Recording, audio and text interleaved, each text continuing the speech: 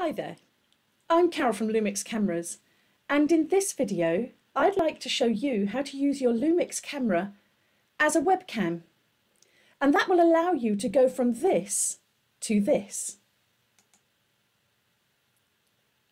So let's get started. So the first thing you've got to do is to download the software from our website. To do that you will need to have the serial number of your camera and put that onto the page.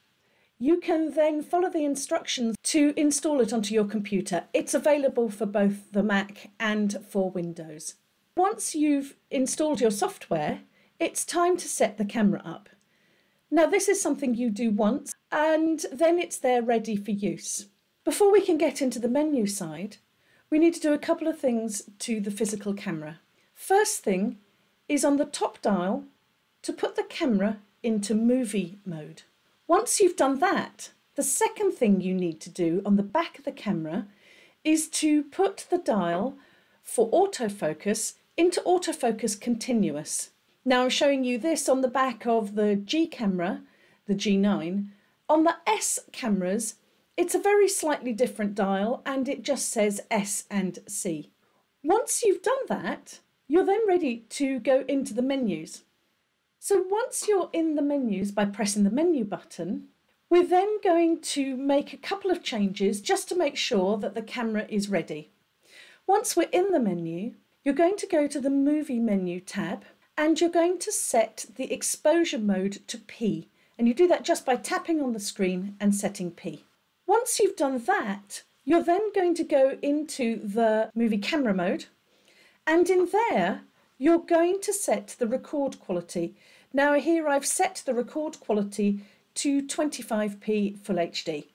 And also you're going to set the continuous AF mode into mode 2. Once you've come out of the menu, it's time to go into the quick menu. You press the Q menu button on the back of the camera and we're going to make a few changes in here. So the Q menu button allows you to make changes to the white balance, the auto and the auto ISO. And it looks like this on the back of the G. On the S camera, it looks slightly different, but the, the basic items are the same. The first thing we're going to do is we're going to change the type of focus menu. It's simplest to set this up into face tracking mode, which will allow the camera to track where you move within the screen and keep it on your face. If you are going to be demonstrating items, then it's probably better to move into either the custom multi and set yourself a nice blob, or the square mode and set yourself a fairly large square so that when you put items up in front of the camera, they will come into focus.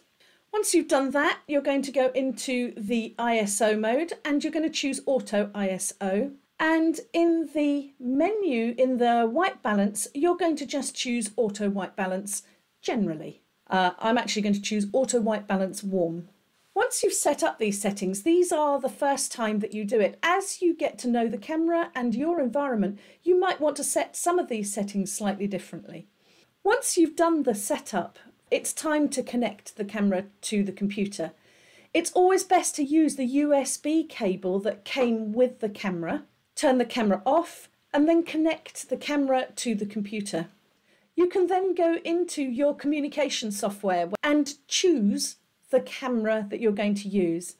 To do that, go to your software and one of the cameras that you will see will say Lumix webcam. That's the camera to choose. Once you've done that, you should then see that your picture looks something like this. Please like this video, that helps Bermingham Cameras no end. And please leave comments and questions and we will try to come back to you with answers. Thanks ever so much.